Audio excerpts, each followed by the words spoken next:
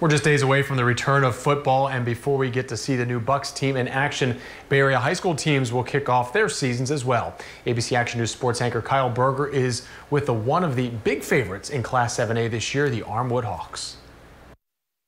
Yeah, I got my helmet on and a mask. Sure, football during a pandemic is different, but the Armwood High School players know what's at stake. They've adjusted to everything that's new and, and have never even thought twice about it, never complained about it, just understand what it is. And, you know, our question was, can we play football? For now, that answer is yes. And the Hawks have a squad that can win it all. 11 starters return, led by Florida commits, receiver Charles Montgomery, and 6'5, 375 pound defensive lineman Desmond Watson. I feel like this team, we more dialed in, like focused. We can get, hit you from any spot on the field whether it's defense, offense, special teams, whatever it is. There's a lot different about the 2020 season, but one thing hasn't changed. The Armwood seniors are still in the hunt for that elusive state championship. Trying to get a ring every year.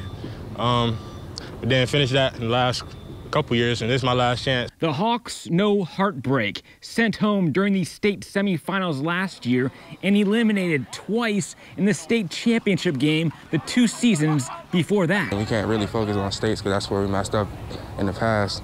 We thought too much about states, you know, got big-headed, and see where it got us. In Seffner, Kyle Burger, ABC Action News.